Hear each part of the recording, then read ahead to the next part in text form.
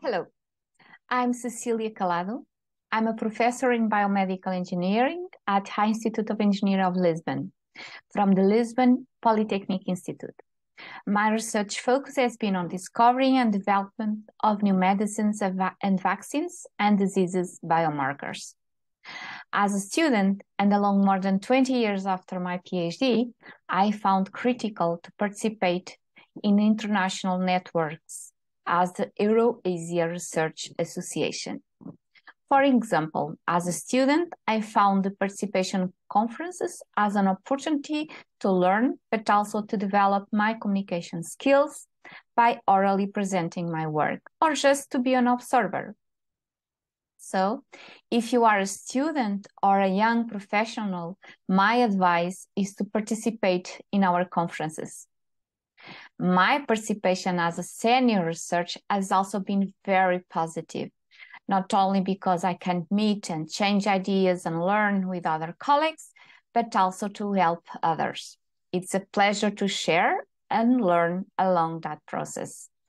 So it is a great pleasure to be president of the Healthcare and Biological Science Research Association.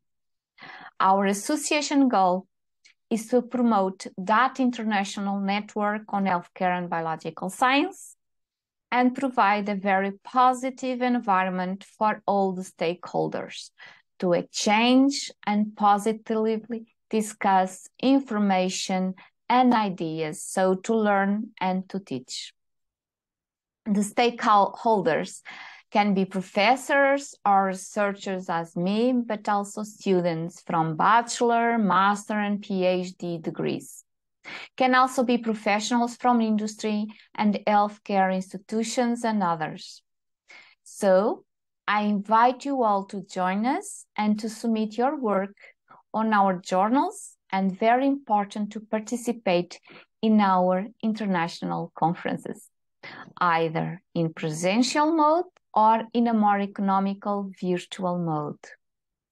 So the world is dynamically evolving and very efficient mode to keep up to date on science while sharing difficulties and find support is to join communities as ours, participating, for example, in our conference. So hope you see you soon and thank you for all your attention. Thank you.